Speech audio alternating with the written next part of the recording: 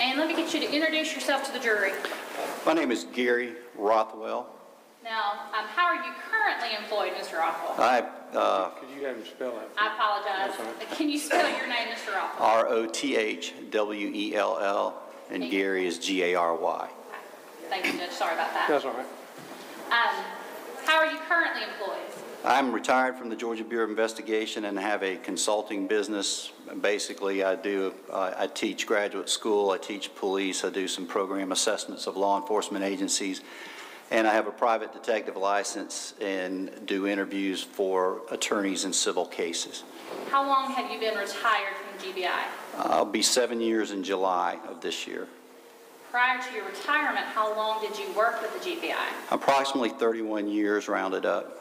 When you were working with G- GBI, what was the last position that you, I was special agent in charge of the GBI Region 13 office in Perry, Georgia. when you say special agent in charge, tell, tell the jury what that means. That means I was the operational commander or the actual commander of that regional office that covered 10 counties uh, in Georgia. Now, one of the counties that was covered by the Perry office was that Irwin County. That's correct. What about Ben Hill County? Yes, Um, were you working in the Perry office in 2005 when Tara Grinstead first went missing? I was. And what was your position with the GBI at that time? I was the special agent in charge of the GBI Region 13 office there in Perry. As the special agent in charge, um, does that mean that you have other people who you supervise? That's correct. We have uh, several agents assigned to each regional office, and I oversee them and assist them in their investigations. Do those agents come to the Perry office and stay at the Perry office, or do they move in and out? Like any organization, people come and go. They either transfer, move around, get promoted, or some leave the agency. 2005, when um, Tara was first reported missing, who was the agent who was assigned to Irwin County? That was Dominic Turner. Based on the fact that he was assigned to Irwin County and that she was reported missing from Irwin County, was he the lead agent at the time? That's correct. He was what we call the case agent, which is typically the agent with, uh, with responsibility for a county in which a crime occurs. However, was he the only agent who was working the missing persons case of Tara Grinstead? He was not. And and I keep referring to it as a missing persons case, so let me kind of clarify that. Um, Was this case anything other than a missing persons case during your tenure with the GBI? No, this case was classified as a 25 case in our numerical terminology, which means a, a, a- an other type of investigation which covers missing persons. And this case was always considered a missing person as long as I was working on it. Why was it not considered a murder case? Because we did not know what had happened to Tara Grinstead. We did not know where she was. Why was it not considered a kidnapping case? Because we did not have evidence to, to presume that there was a kidnapping or to conclude that one had occurred. Was that a possibility? Were those things possibilities of what may have occurred? Yes, What were other possibilities? murder was a possibility. Uh, her leaving on her own was a possibility. Uh, as we said, a, a kidnapping in which she was still alive somewhere was a possibility. I kind of want to go back and, and set the stage a little bit. Um, there may be some jurors who are too young to remember this, and then others of us have just forgotten. But in 2005, um, were there any other missing persons cases that gained sort of national attention or even international attention? Tara's case occurred right after the Natalee Holloway missing persons case in Aruba, which was one of the first of the major investigations are- that are, uh, received much media coverage. Okay. Um, were there any missing persons cases during that time period where it turned out the person had left on their own accord? That there was one of much significance in Atlanta. Okay. And was there a sort of nickname for what the media called that person? Yes, this case was called the Runaway Bride. And the runaway bride, was that before Tara went missing or after, do you recall? That was before Tara went missing. Those cases that you've discussed, the Natalee Holloway case and the Wilbanks, it's actually Jennifer Wilbanks, but the, the runaway bride case, did those affect the nature of this investigation? The Runaway Bride case probably made it more likely that we needed to consider Tara had left on her own. Uh, In that particular case, this was a bride that was scheduled to be married and disappeared, and there were, uh, there was an investigation and much media publicity in which uh, the, the bridegroom, jilted bridegroom, so to speak, was believed to be the person responsible, and he suffered a lot of uh, uh, basically slander and libel as, on account of that, and it turned out she had run away and was found in Albuquerque, New Mexico. Again, though, did those affect how this case was investigated? I'm not sure I understand the question. Okay? So let me ask a little differently. Did the actual fact that those had occurred affect the way you investigated the case, or was there something about the nature of this case that affected this investigation? Well, we treated this case as an independent investigation. We addressed it the way that we normally would. Uh, Those cases probably were the- some of the earliest ones of the immense media coverage, which, which was something we weren't accustomed. And that's something that happened in our case that we were not expecting. Okay. So the, you refer to it as immense media coverage.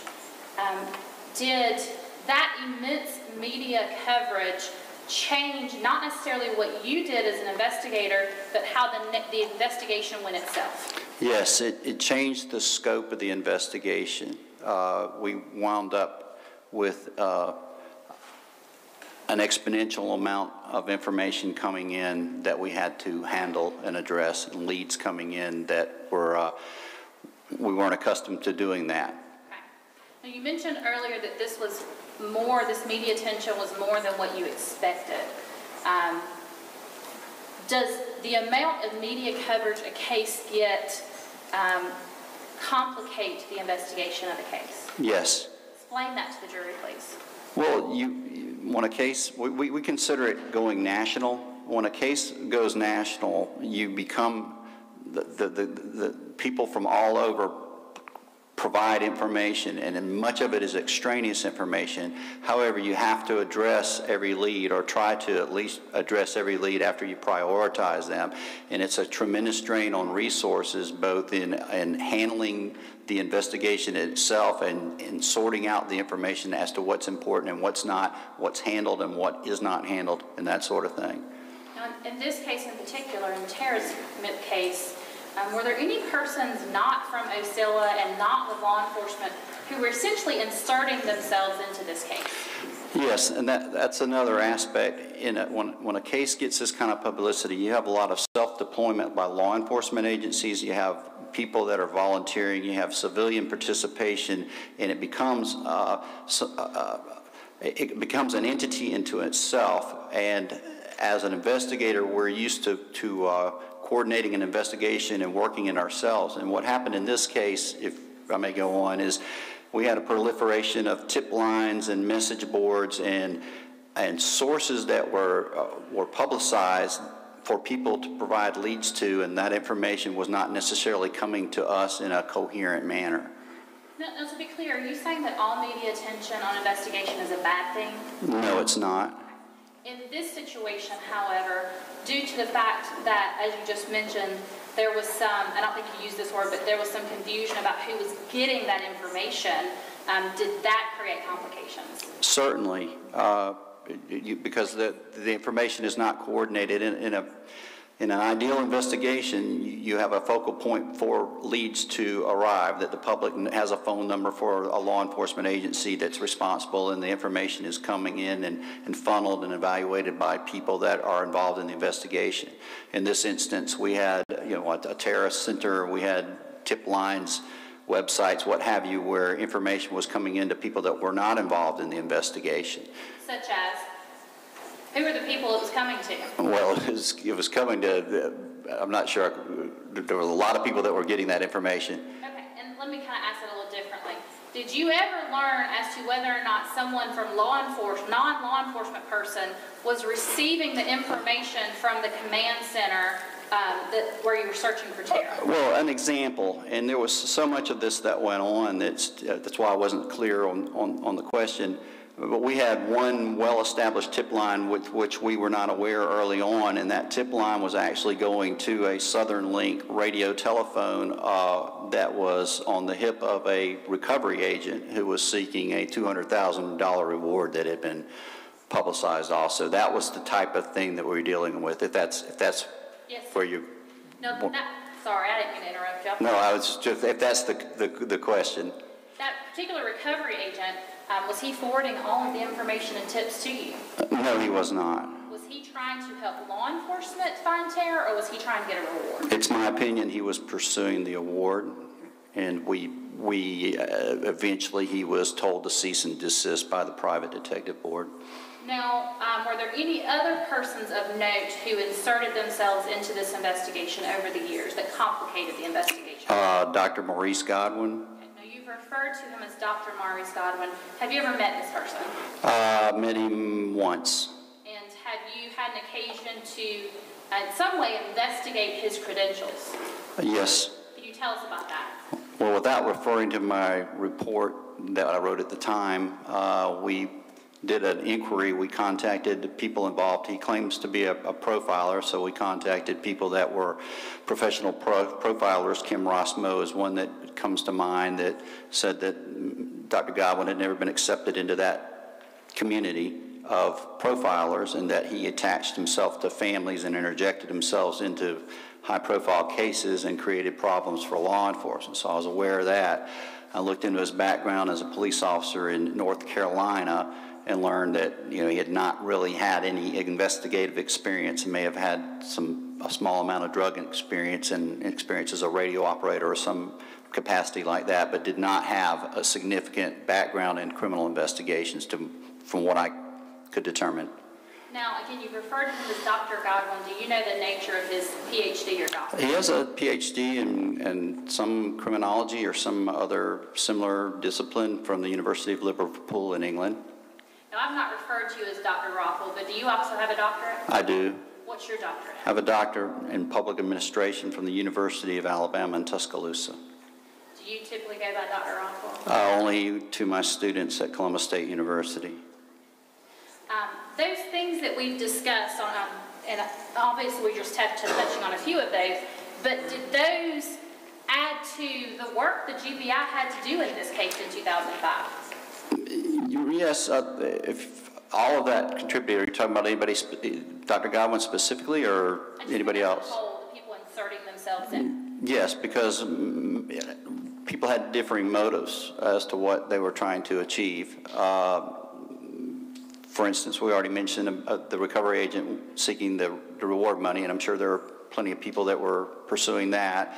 Uh, We had people that were seeking publicity for themselves, such as Dr. Godwin, and what we wound up doing in regard to him was we wound up chasing leads that he would pub, you know, put in the news first, and then we would have to follow behind it because we had obligation to follow up on those leads because they were out in public. What about, you have any psychics calling? Oh, yes, we had a tremendous number of psychics. Were there ever occasions where you were running a lead that Dr. Godwin gave you that you later found out in fact came from a psychic? Uh, I have to refu refer to the file. Were there ever times that you wound up having to deal with some of the leads that came from these psychics? Yes, Did any of that pan out? The psychic leads did not pan out, no. Did anything Dr. Godwin gave you pan out? No, it did not. Um, and, but again, were you obligated to follow it through? Yes, we were obligated to follow through because they these were leads that we had received, and not only ha- have we received them, we have to prior- to prioritize them and try to address them within the within, within the resources that we have.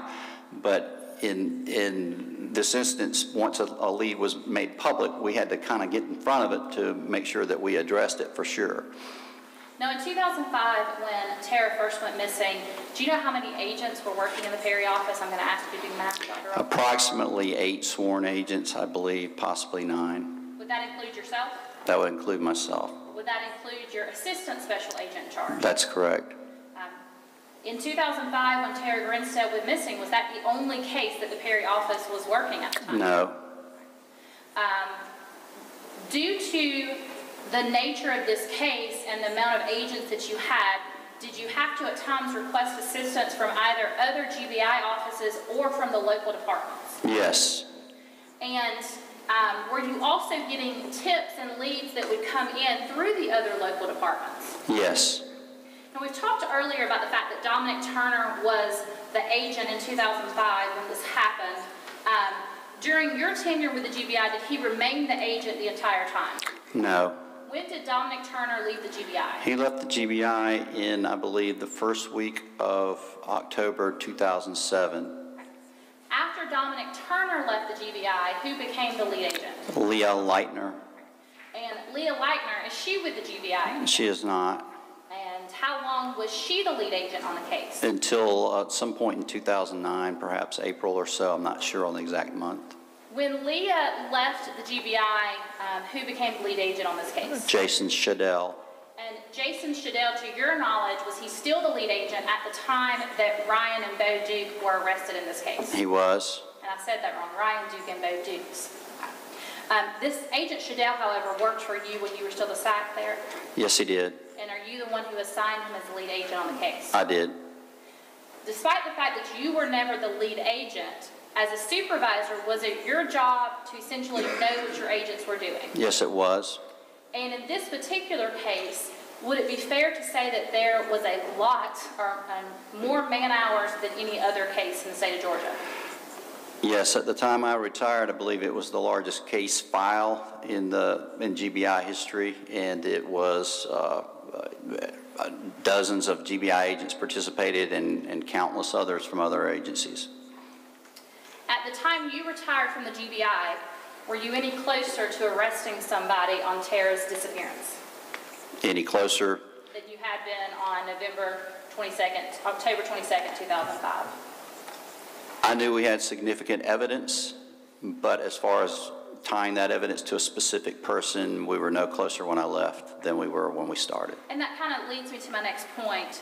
Are there things that you knew back in 2005 that now that the arrest have been, has been made, makes sense in this case? Absolutely. And even though you are now retired, have you at least on some level been privy to the investigation involving Ryan Duke and Bo Dukes? Yes. Um, Now, let me talk to you a little bit about some of that evidence. For instance, in 2005, um, did you receive any evidence related to Tara's phone records? Yes. And um, I don't want to go through everything, but the short version of what you learned from Tara's phone records, tell us about that. The short version, it- it- from a, from a contact standpoint or from a technical standpoint or both? From a contact standpoint. Well, she had two phones. She had a landline, which is what we call a, a typical house phone, a wired, hardwired phone, and she had a cell phone. The landline was with Alltel, correction, with, yeah, with Alltel. And, uh, and her cell phone was also with Alltel. And we were able to establish the phone calls that she made before she disappeared, and, and, and those phone calls ceased at approximately 11 o'clock PM on October 22nd. Uh, I'm- I I mean, there's a lot about the phone, phone records I could say. I'm not sure exactly I'm what. gonna- Sorry, yeah. I apologize. I was going to ask another question, but that's what I was getting at. Okay. When did her phone, her outgoing phone calls cease? Yeah. Can you tell me that again? Uh, Approximately 11 o'clock PM on October 22nd, 2005, Saturday night. Saturday. Now, was there, were there any phone calls made to her residence on Sunday night or early, excuse me, early Sunday morning that drew the attention of law enforcement back in 2005? Yes. Can you tell the jury what drew your attention to that? Well, initially, what drew our attention was a, uh, a readout of, of the caller ID on Tara's home phone, her landline phone, which showed at approximately 9:26 a.m. on Sunday, the 23rd, I believe it's 9:26. Um, On Sunday, October 23rd, there was a call from North Coast Pay with a local number.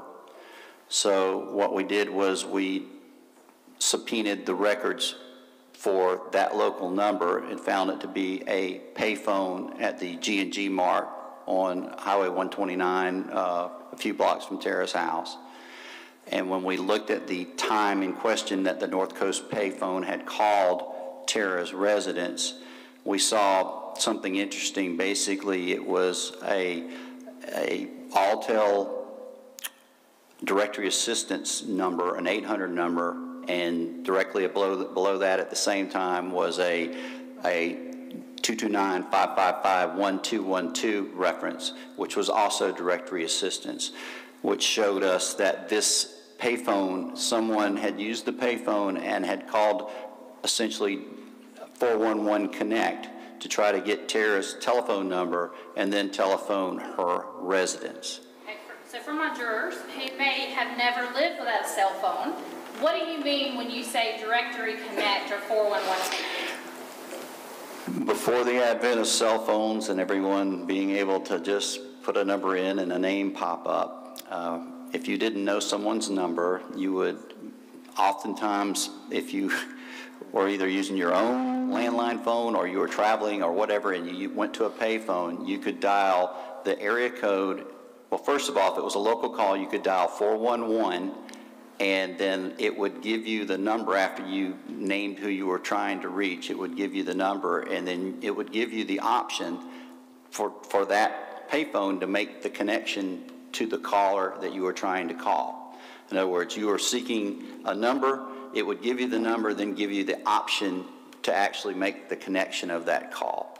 And you could either do that by dialing 411, or oftentimes in an area code, you would dial the area code 229, for instance, and then 555-1212. That was kind of like a universal 411 if you were looking for a particular area code. Would the person making that phone call from the G&G store in Ocilla, Georgia, would they have had to have used 411 or directory assistance if they already knew Tara's phone number? No, and that's what was so perplexing about the call. Prior to 2017, when Ryan Duke was arrested and interviewed by law enforcement, did you have any knowledge as to who had made that 411 call? No, Did you have any, were you any closer to figuring out who had made that 411 call prior to interviewing Ryan Duke? no, Now, um, have you ever, let me say, prior to 2017, when the arrest was made, had you ever heard the name Ryan Duke or Bo Dukes? that I recalled, Yes, sir. not that I recalled. Since these arrests have been made, has it come to your attention that the information related to Bo and Ryan was uh, known by law enforcement prior to 2017? Yes, Okay, can you tell me about that, please?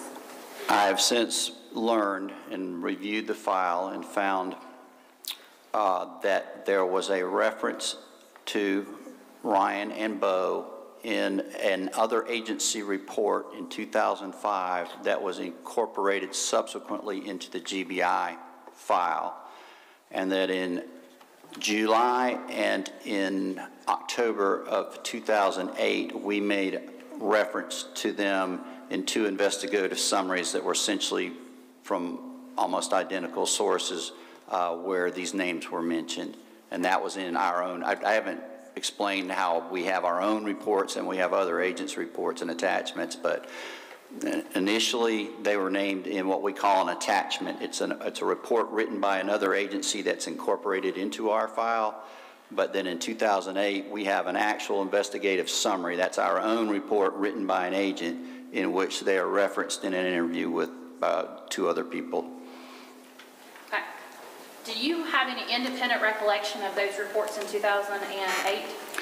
My, my recollection now is that we presumed, we thought that that lead had been addressed by local law enforcement as unfounded and did not follow up.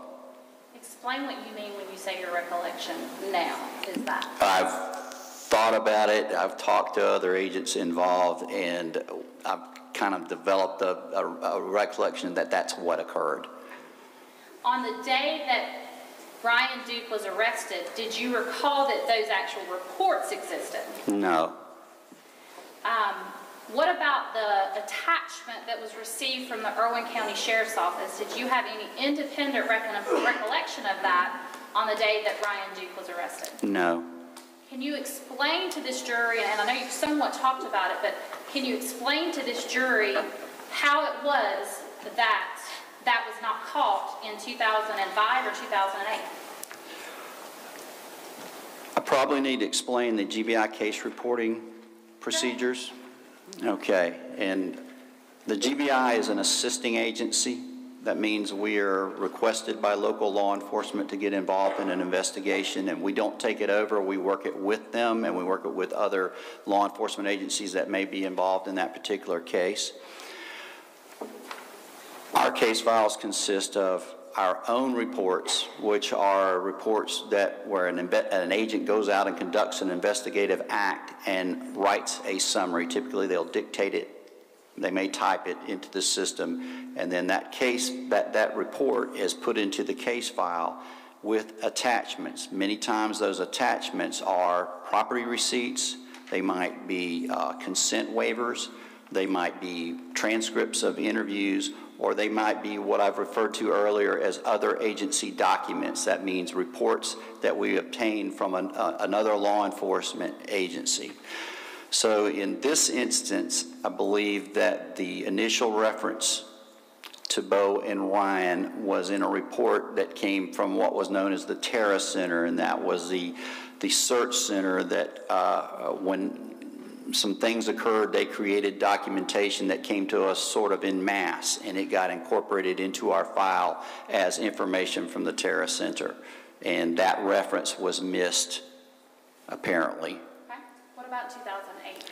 2008 was a summary written by Special Agent Leitner in which he was interviewing uh, actually two people. They were married at the time, Andy and Janice Pauk, who were responsible for the Find Tara website and one of the tip lines. And so Leah was interviewing them in order to see if there was any information that they had received from the tip line that we might have missed. So these names were mentioned in a long, I think it's about a 12 page investigative summary, uh, among other information that was uh, divulged by, by them. And I, I can't remember the length of each summary, but they were, they were married and the information was similar. But both of them had had a participation when the information had come into Irwin County law enforcement. As you sit here today, though, is there any doubt that prior to February 2017, the names Bo Dukes and Ryan Duke were known to GBI? They, I mean, I, I can't say they weren't known. They're in our own report. I, I know I'm certain I read that report, so I can't say that. Yeah. Um, Sorry, I apologize. I didn't Yeah. interrupt you again.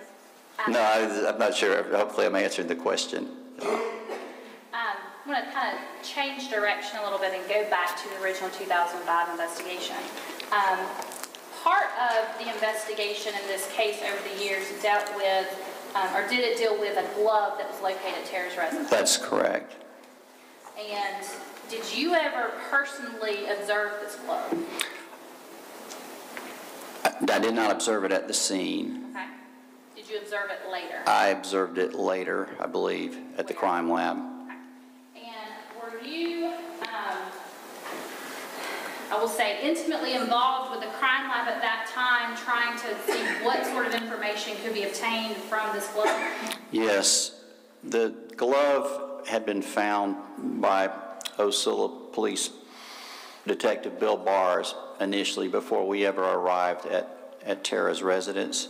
It was out of place. It didn't make sense. It, it wasn't anything that was dropped by a first responder or anything like that. So it was, it had immediate significance to us. At that time, in 2005, DNA technology, fingerprint technology, it was almost unheard of, at least as far as we knew, for any kind of DNA or fingerprints to be recovered from the glove, but we wanted to give it the best possible attempt. So I contacted Larry Peterson, who's a well-known criminalist from the uh, Atlanta child murders back in the 1970s and 80s, and he basically orchestrated a a walkthrough with the different branches that would be involved in process, processing that glove so that they could devise a strategy to analyze it that would most likely result in, in something substantive if it was possible at all. Prior to this case, do you recall ever having information about what we now refer to as touch DNA? There was no thing, to our knowledge, as touch DNA in 2005, 2006, and I don't believe touch DNA was available until recently.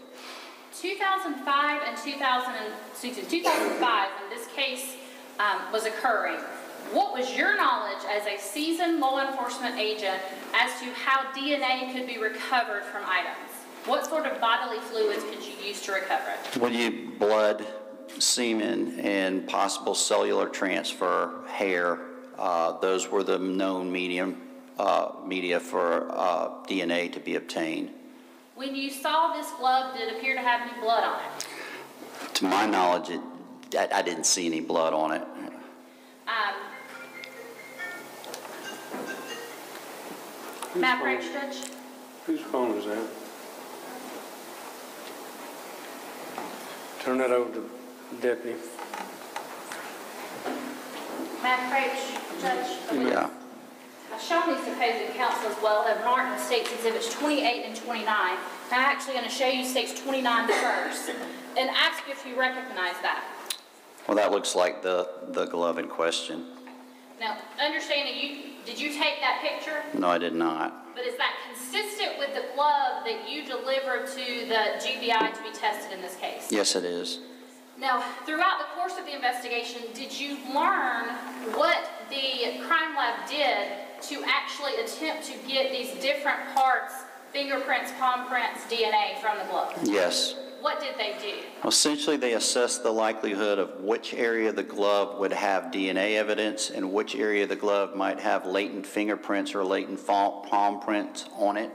And uh, it's my understanding they cut the glove up in pieces, and so the DNA analysts had certain portions of the glove, and the fingerprint analysts had other portions of the glove. I'm going to show you what's been marked as states 28 and ask you, does that appear consistent with what your understanding is they did with this glove? Yes, I, I don't know if I've seen this picture, but I've seen a similar image before. You have seen a I, similar I image? believe so, I believe so. And that image, while you say you haven't seen that picture, the nature in which that glove is cut, is that consistent with the GBI file that you had on this case as to how the glove from Tara's yard was cut? That's consistent as to how I understood that they would, would uh, cut it up to, to analyze it. I remember that they took the fingerprints and the palm part and separated them, fingertips, excuse me. Now, again, understanding you're not um, someone that worked for the crime lab, um, did you have to gain information from the crime lab in order to continue your investigation in this case? Yes, And part of that information that you obtained from the crime lab, did you learn whether or not there was any DNA obtained from the glove itself? yes, And um, at the time, do you, did you learn whether it was one person's DNA or two people's DNA or more? two people's DNA. Were they able to identify any of the person's DNA that was on the glove? Yes, Who was that? Tara Grinstead. Were they able at the time to identify who the other person's DNA was? No, they could just say it was male DNA. Based on that information, did the GBI swab persons in this case to see if they could match it to the unknown sample from the glove? Yes, As of your retirement from the GBI, um, could you tell this jury, maybe not exactly, but can you tell us approximately how many people were swabbed in this case? Uh, approximately 200, I believe. I can check that, but I don't believe it was about 200. Uh, and um, at the time that you retired from the GBI, had there been any matches? No.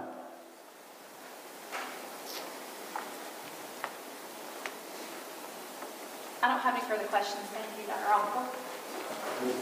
All right, Mr. Fox, you may cross-examine the witness. Good afternoon. You can call me Mr. Rothwell. Agent Rothwell I kind of like, but I guess I don't do that anymore. I'll be glad to call you Agent Rothwell. You retired about seven years ago. Uh, July, to be s- seven years this July, July 31st, So that'd be 2012. 2012, yes. And the state started out its examination, it mentioned two cases that could have impacted the Grinstead case. The first was Natalee Holloway, who went missing, I believe, uh, before Ms. Grinstead did. Correct? That's correct. Uh, And that was a young lady who had been visiting Aruba on a trip and had gone allegedly missing after drinking with some local folks on the beach, correct? Something to that effect. I didn't follow it that closely. And the missing bride case was a young lady who we now know got cold feet before wedding, but she just didn't come home from the jog. Right. She, she disappeared. She disappeared. Um, However, neither of those cases uh, had something that Ms. Grinstead's case had, which are scenes of a struggle in a bedroom and blood on a. The description of scenes of a struggle, uh, I'm not sure I agree with that. There was a lamp that looked like it may have been overturned. The, the, the scene in Tara's house was, was ambiguous to us. We did not know if a struggle had occurred there or not.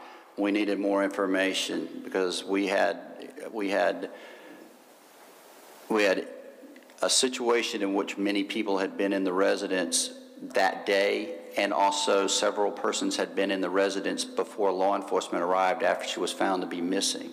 We also had conflicting testimony, or conflicting statements about the lamp. We had people saying that the lamp was already broken, and others saying that it wasn't.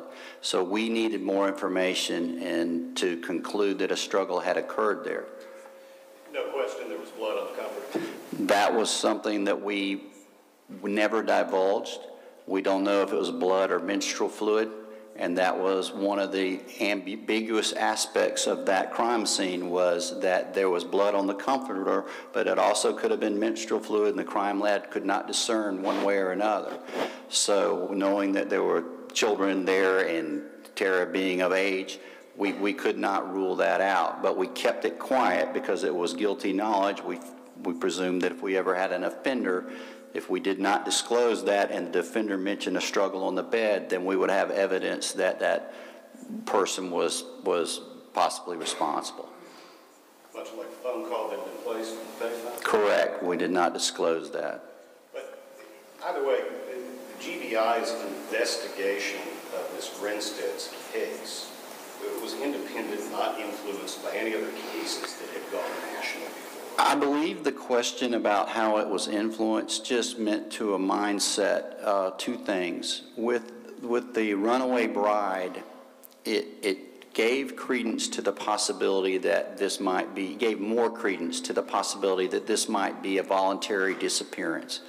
Tara had some other issues in her life and had had an incident a couple of weeks before, uh, or 20 days before perhaps, uh, that would support the possibility that something like that occurred. So the runaway bride was a situation where this actually happened. Someone had essentially just disappeared on their own and it was recent. With regard to Natalee Holloway, it had to do with the publicity. It had to do with the the nationalizing of a, a, case and the exponential, as a, a, term I used, increase in the amount of information with which you would have to deal. That's, that is what I understood the question about those two cases to mean. As far as how we investigated the case, we tried to investigate it like we do any other case. We just had a lot more information than we were used to dealing with. Well, that makes the case difficult. Correct. Because, as you said, you had the GBI is there to assist local law enforcement, correct? We're an assisting agencies, uh, agency, but what happens many times is, you know, we will be the lead agency once we're requested to assist. Some people will say we take it over. We never take it over. We, we, we call ourselves assisting, and uh, we generally have more resources than a lot of the agencies that we uh, participate with. And in this case, you and information from the public coming in directly to the GBI, potential leads coming into local law enforcement that would need to be funneled to the GBI, and then what I would call kind of all the civilian leads with the state of reference as far as message boards and you know, tip lines and things of that nature. That's correct. Looking to the GBI, GBI only, what was the working operational plan for when the GBI would get leads by phone or by email concerning Ms. Grinstead's case directly to the GBI? Directly to the GBI, we have a, we had a tip line in Atlanta where we had uh, operators that are staffed by the GBI administration, and we had given them questions to ask, I believe, and had a kind of a, a Tara checklist for people that called in, and they were to refer that information to us.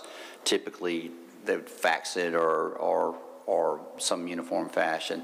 We also had the tip, uh, you said strictly GBI, not Ocilla PD? Yes. Okay. And then internally in the office, the office phones are typically uh, uh, answered by, at that time, by investigative assistants, and they had a protocol themselves to, to refer that information. And again, I believe we had a form that we were using uh, to receive that information, at least early on. And I know you all get a lot of, a lot of calls. Yeah. Uh, But were the instructions to the agents and the other people working for the GBI attending to these leads, that they would follow up on those leads, that they just wouldn't be ignored? That's what, that's the intention. Were there records generated that came in based on the forms that you just described? If they use the form. Uh, The, the regional office, uh, maybe I'm, maybe I'm understanding your question now, the, the rate, the regional office, staffed by, I believe at that time, eight or nine agents and two support personnel, and it conducts all types of business, administrative and and otherwise. So calls come in all the time. Uh, I can't say that, you know, that every call that ever came in was funneled exactly the way it should have, should have occurred with regard to Tara's case, I can't. But I do know that we had a lot of information going all over the place and not coming to us at all. And the- information that was coming in from all over the place and not coming to you at all, was that more from what I would call the civilian tip lines, and message boards and that sort of thing? Or did that include local law enforcement as well? Not sure I follow that question. I, think I asked about as clear as mud. Let me try this one. Uh, What were the instructions the GBI gave local law enforcement, Ocilla PD, other areas around there, in order to make sure that the tips that came to them would make their way to the GBI? With regard to Ocilla PD in Irwin County, we had the, I know we had the, the tip form and a, and a format for them to transmit to us information they came, that they got specifically about Tara. Ocilla Police Department and the Irwin County Sheriff's Department were, they, they occupied the same building and they used the same dispatcher. So that was how we addressed that. With regard to the outside law enforcement agencies, we were just relying on them to provide us the information as it came in. We didn't have a form, format to do that. That's something that we learned in this case that you probably need to do. Sure. Were the case agents instructed to ever contact or follow up with local law enforcement agencies just to make sure they were being diligent about getting tips, leads, and other information to the GBI so that your office could then process and follow up? Mm, were agents directed to go to the local agencies and tell them how to, No, just and making sure, doing due diligence, if you would, reminding the agencies to make sure that they're sending the information.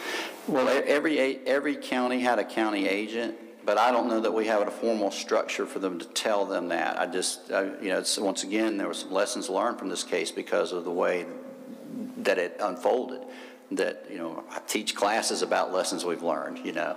And that would be, that would be one, the, one of the biggest problems we have was getting control of the information, period. I mean, from other law enforcement agencies and from the civilian tip lines, from the, from the websites, everything. That was one of the, the, the problems we had was getting control of that information early on. You would agree that the GBI had better control of the information it was collecting directly than it did from local law enforcement or from other non-law enforcement sources? I mean, I would think so because we have autonomy over our people, but things don't always work out perfectly. Fair enough, fair enough. You said you had numerous people calling in leads and things pursuing the reward money. That's correct. That's my opinion. We had, uh, you know, we had a a publicized reward. Uh, Some of it, I'm not so sure if it actually ever existed. but And I think witness may testify that that was something about, posters, 100, maybe $150,000 or something like that. I think the number that was most mentioned was 200,000. And I think you said you also had people who were getting involved, at least in your opinion, perhaps for personal things. I believe so, yes. And it went so far that there were psychics involved in the case, trying to give information. Not the GBI, Uh, Well, any, any, any publicized case, a publicized case has uh, its, its number of psychics, but this one had a lot. And We typically did not act on psychic information beyond determining what the information was and that it came from a psychic and discerning that it wasn't actionable. sure. Uh, In fact, there were occasions in 2007 where, well, for example, one, do you recall Mr. Kenya King passing along information in uh, April of 2007 that he knew who had killed Tara Faye Grinstead and where the body and the murder went? I would have to look at the report. Well, do you recall at all there being any false confessions, people who had no type of case whatsoever, but saying, "Hey, I did it? Yes, that did happen. I'm sure that complicated the investigations. Well, you have to address it. As you said, you have to address every lead, follow the information that comes in. We try to address every lead. You have to prioritize them in, uh, with the resources that you're giving. So, so you try to address all of them. Uh, That's one of the, the things I stress, but sometimes things slip through. How are leads prioritized? You evaluate them. There- It's kind of a subjective process, but usually the case agent or someone in that capacity, if the leads are coming in, it's, it's it's hard to describe a, a, uh, a fluid investigation like this because we give our agents a lot of autonomy as they're out in the field and that they get some, deve- develop something.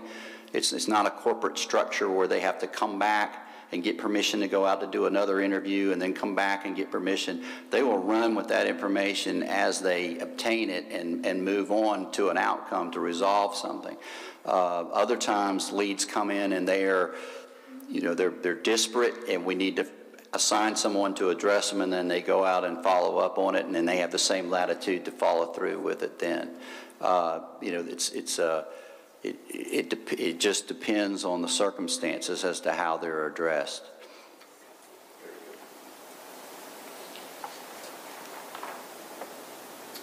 You had said, uh, and acknowledged that you had received the Irwin County report from 2005 where there had been a report that Mr. Duke, Mr. Dukes had been involved in uh, disappearance of Ms. Grinstead. What I'm familiar with is a reference in a longer report in the information that was obtained from the Tara Center and that this report had been authored by uh, an Irwin County deputy and it was included in a, in a longer report. And the longer report that it was included in was the nine-page, uh, well, y'all call it exhibits. It- That's kind of a report of investigation where the agent uh, makes a summary of their findings, discussions with people, and then, if, for example, the interviews recorded, that's then called an attachment to that exhibit.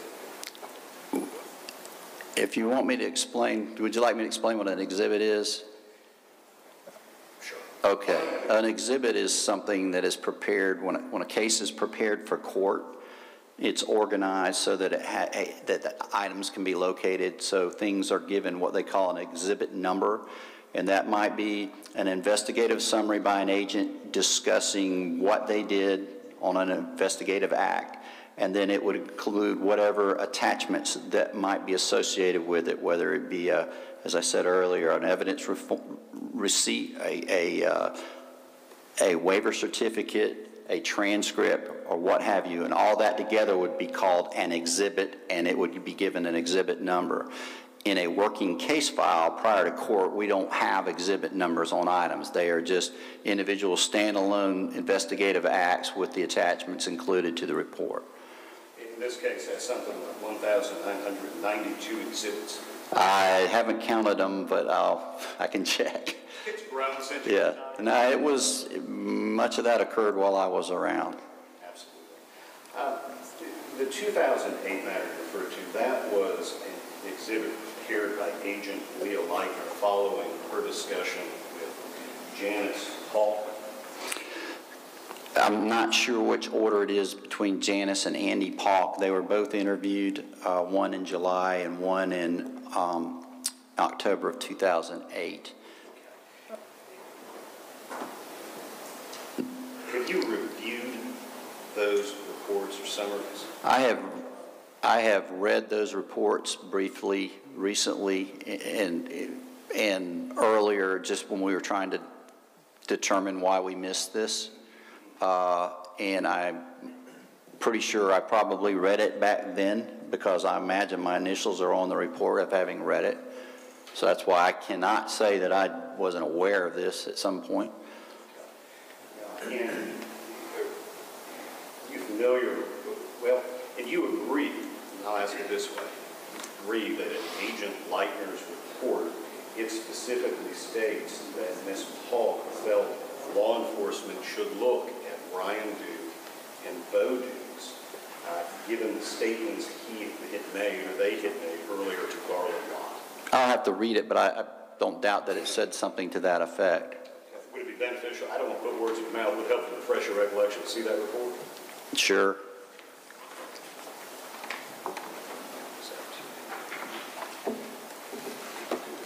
No, I- it's, If you just scan.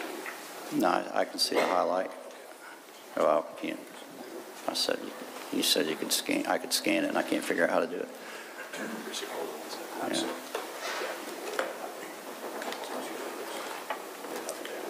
Okay. What's, what's the exhibit number, Mr. It is Fox? sixteen twelve. Thank you.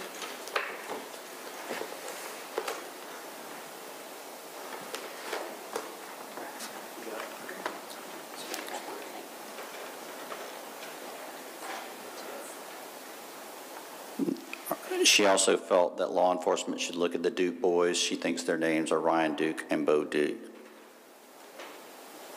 Yeah. From, I've read that. Okay, very good, very good. That information is on page three of the uh, interview that occurred back on October seventh, two thousand eight.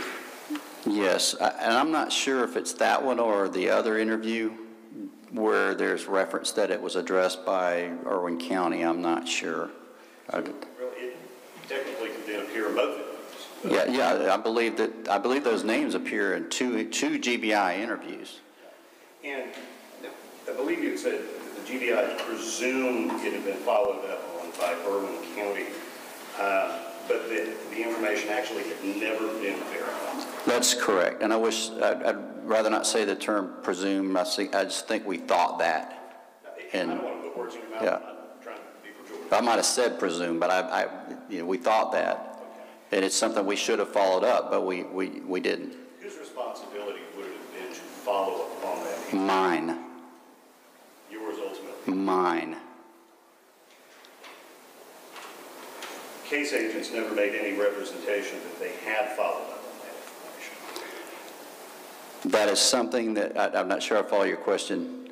Well, I'm saying, nobody ever represented to you that they had followed up on this information. You later discovered. I don't think that an agent followed up or represented that they did. I think that we thought that it had been addressed by local law enforcement, and we should have followed up, and we did not, and that is my responsibility.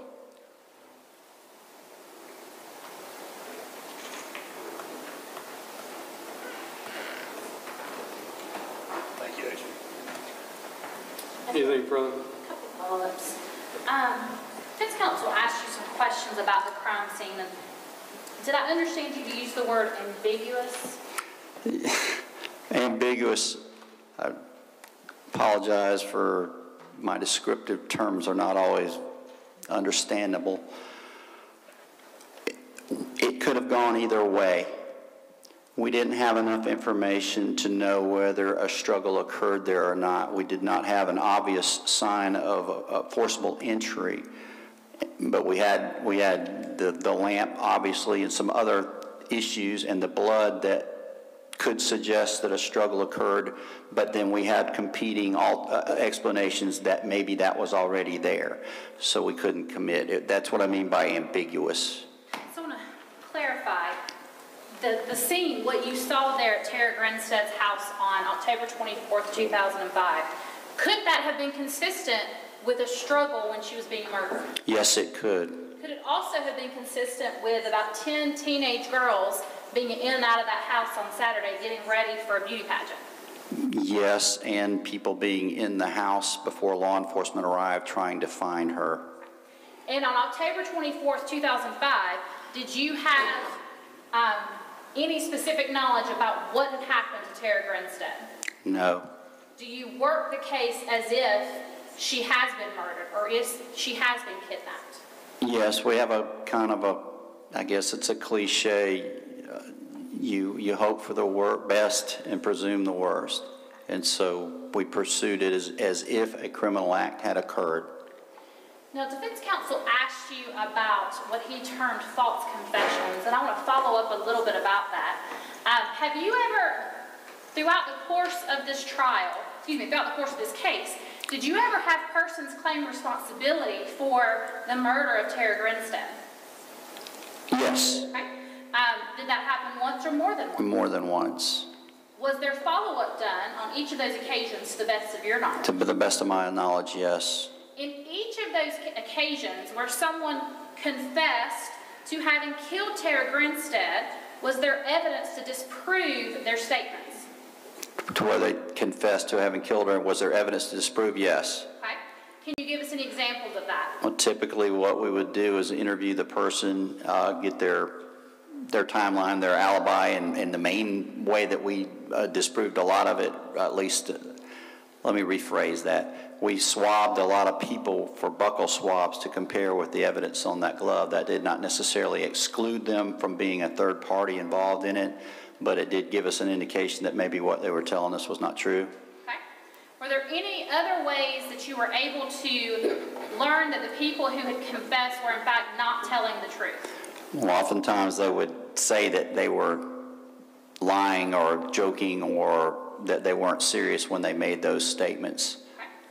What about what you referenced earlier as guilty knowledge? Oh, the, I didn't explain the concept of guilty knowledge. I think I made reference to it. And guilty knowledge is, is information that only the offender would know. So that's, that is information that law enforcement investigators often keep out of the public because they don't want it to become public knowledge, because they want to be able to evaluate a defendant's or, or, or potential offender's statements and measured against evidence that we know is there that they don't know we know about. So consequently, it is, it is a way, if someone's telling you that they did something in a, in a residence and the layout of that residence has never been uh, made public, and they're giving you a completely different description of the residence than what it actually is, that's an indicator that maybe they're not telling the truth. And that would be, say, guilty knowledge, many times it's just the, the, the, the location itself. In this particular case, what was the largest um, or the biggest piece of guilty knowledge that was held back that only law enforcement knew about? Well, there was, act- there was two, actually. Uh, One was the fact that we had Tara's DNA on the glove.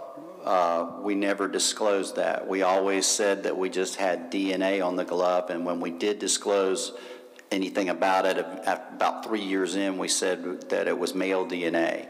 We never disclosed that Tara's DNA was on the glove because we wanted some, if someone came to us and had a, a bogus uh, explanation for that glove being there, we would be able to address that by asking them how Tara's DNA got on it.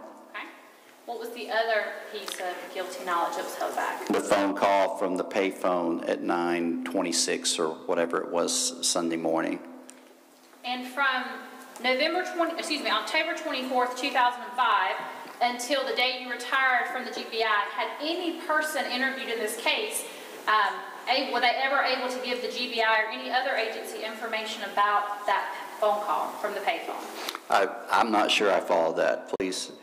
During the course of the investigation up until the point you retired, any suspect or any person of interest ever have knowledge about that payphone call that was made in the early morning hours of October 23rd? No. No. No further questions. Mr. Fox. No response, Thank you. All right.